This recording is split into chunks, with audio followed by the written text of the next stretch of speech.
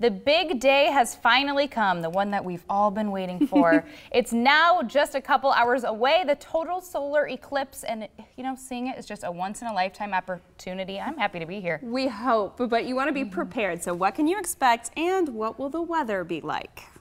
3 News Now meteorologist Ryan the McPikester is back. back again. Yeah. With the most up-to-date info. This is great to hey, have you in the building. Well, yeah, it's good to be on here again. And I'll tell you what, guys, uh, we're kind of looking at a little sunshine trying to break through out there. So, yes, I know. Oh. Fingers crossed because everybody's like, where's the best this spot? morning was a little frightening. It is. It was a little. Th those clouds yeah. were moving really fast, though. Hopefully yeah. out of the way. Nasty storms. Yeah, I think we're done with the rain. That could be a bigger thing tonight. Mm -hmm. But as far as the eclipse forecast goes, uh, looks like that's probably done with. I'm worried about cloud cover, though. That's going to be the big thing here. In fact, uh, I've got a little slew of graphics put together here, guys. Take we'll us through. through. All right, we'll go through.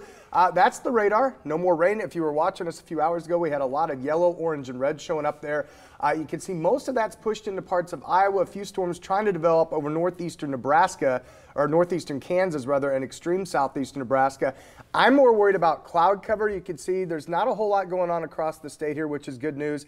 And as we bring it back in, there are breaks in the overcast. You can see that down over southeastern and central Nebraska. The problem is some of that's low cloud cover and fog, and then obviously the couple of big bright white bullseyes there would be uh, clouds and storms. So really across the country, uh, cloud cover is going to be kind of the concern as far as obstructing visibility. Uh, this says the farther west in the state you go, the better chance you'd see some clearing. I think we're going to be kind of 50-50 here, which isn't horrible, although this graphic still is trying to say oh. otherwise. Yeah, it's, uh, it's, just picking up on the cloud covers, what this graphic is. Yeah.